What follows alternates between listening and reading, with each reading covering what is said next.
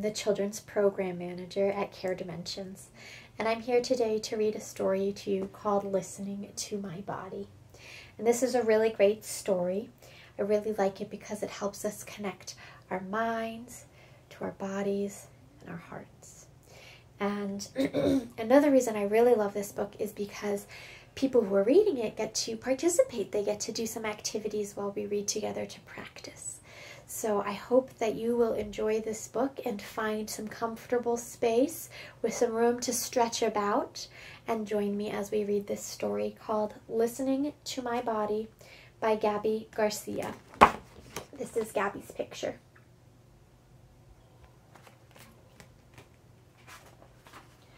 Listening to My Body, a guide to helping kids understand the connection between sensations, what the heck are those, and feelings, so that they can get better at figuring out what they need. This book also has a note to grown ups who help take care of kids. I like that about this book. My body is my friend it tells me lots of things. Yawn when I am tired. My stomach growls to let me know I'm hungry.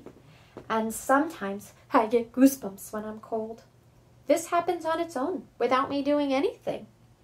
I may not even notice that it's happening, but I can start paying attention to my body, and so can you. Let's practice.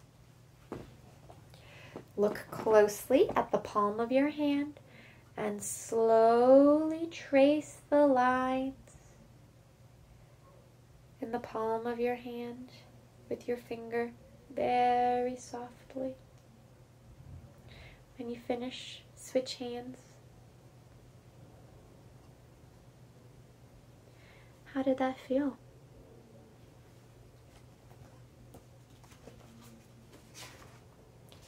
When I pay attention to my body and listen, I notice many different sensations.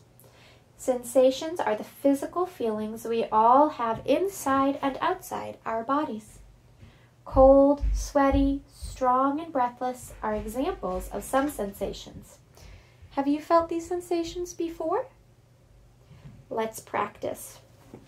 Ready? Rub your hands together quickly for 30 seconds.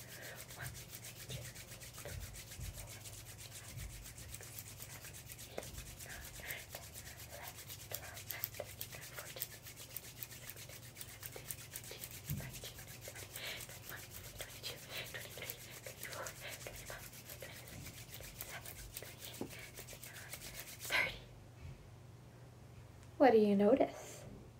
Heat, tingles, sweat, Anything else? These are sensations.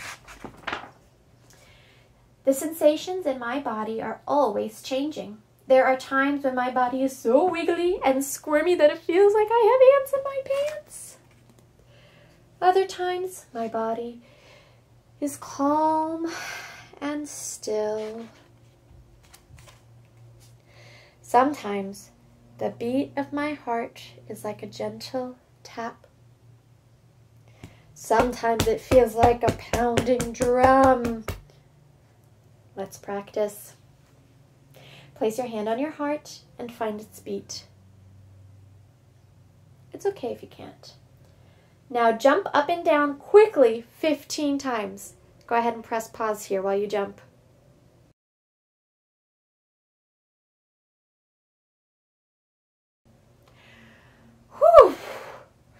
Place your hand on your heart again. What happened to your heartbeat? Did it change or stay the same? Do you notice anything else? Like a change in your temperature or your breathing? I feel out of breath. I can also listen to my body for clues about how I'm feeling about the things happening around me. Feelings are not good or bad, they're just something we all experience. Curious, proud, grumpy, and scared are a few feelings we all have. What other feelings can you name? What I've learned from listening to my body is that sensations and feelings go together. I noticed this when I got to ride a roller coaster for the first time. I was super excited that I was finally tall enough to ride, but I also felt nervous as I climbed on board. My belly felt squishy and fluttery.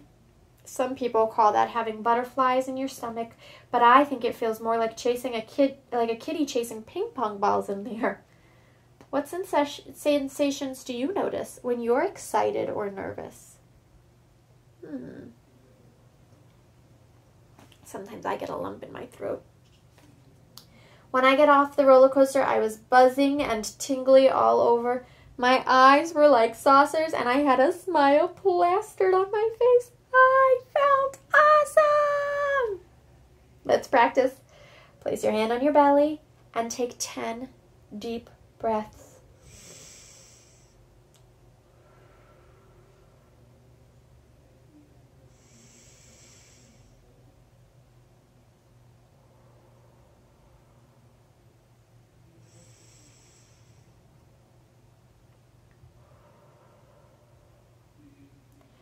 Notice your belly as it comes in and out with each breath.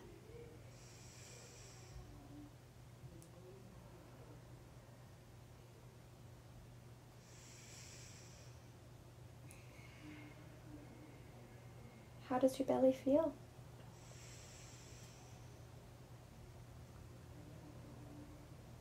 Soft, relaxed.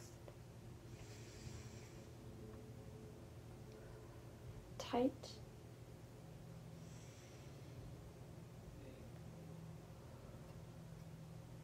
Something else?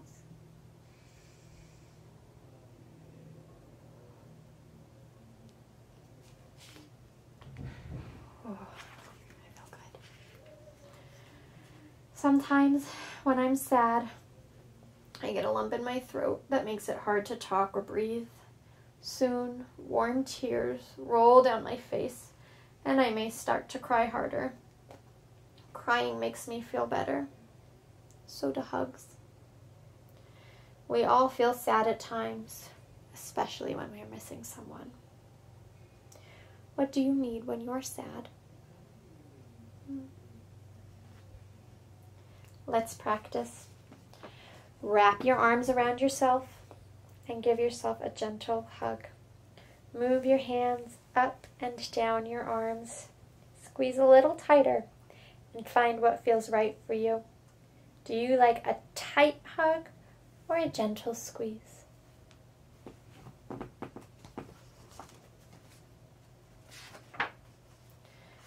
My mom once explained to me that sensations and feelings are like the waves in the ocean. Some come crashing in, while others roll in gently, and they always come and go.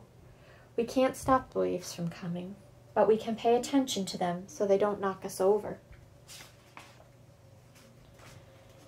Sometimes my skin gets burning hot and my jaw and fist feel hard as rocks. That happened to my body the last time I got really angry at my sister. She'd just destroyed the puzzle I was working on all afternoon. I stomped my feet and slammed the door, but I really wanted to kick it.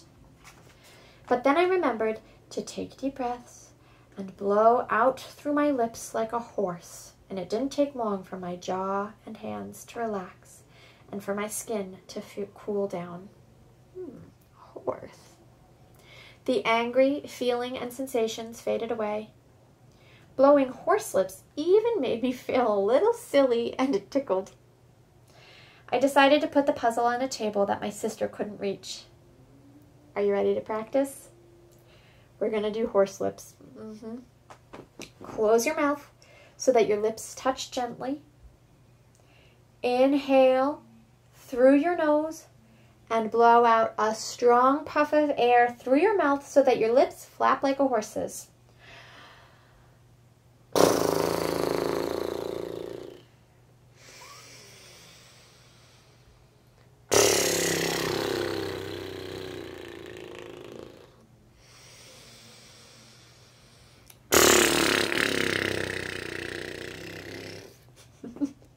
Try that a couple of times.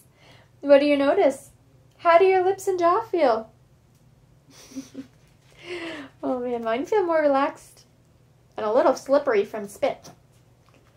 Sometimes I get overwhelmed and need help from a grown up. On the first day of school, I woke up super early because I couldn't stop thinking about what my new class would be like. My stomach felt like it was tied in knots, so I didn't eat breakfast. In class, it was hard for me to focus on what my new teacher, Ms. Morgan, was saying, and my body was shaky. When it was time for me to line up, I accidentally bumped my desk and knocked all my stuff onto the floor. Everything was going wrong. Ms. Morgan helped me pick up my things, and I took deep breaths like she reminded me. I told her about my morning, and she explained that our brains have a hard time thinking when our bodies are tired and hungry. Miss Morgan thought I would feel better if I had a snack and rested in a quiet area while the class was at recess. She was right. I was calm and able to focus, so the rest of my day went much better. It's okay to get help when we need it. Who's an adult that helps you?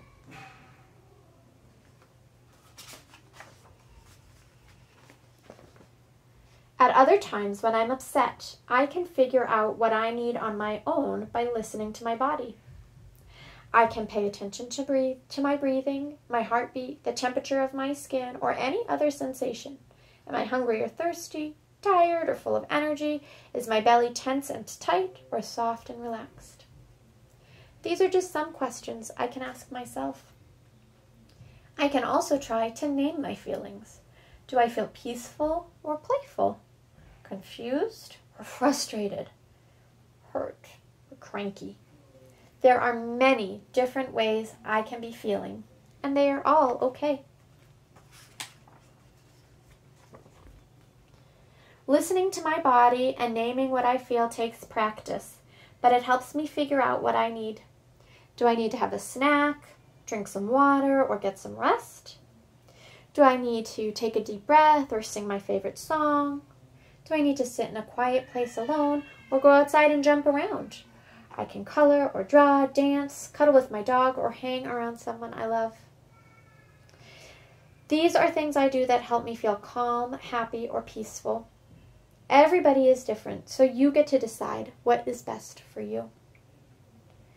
The more I practice listening to my body, the better I get at responding with care and kindness for myself.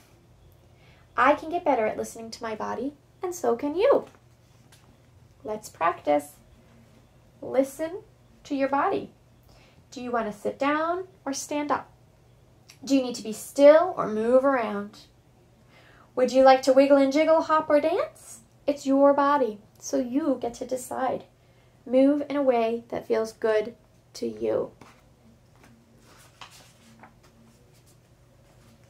This book also has some activities you can do if you decide to take this book out from the library or order a copy for yourself. The end. I really like this book, you guys. It's a lot of fun, and I hope that you enjoyed it and learned something new. Thanks for joining me today.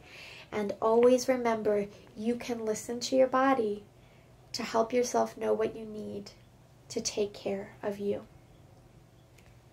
Take care. Bye bye.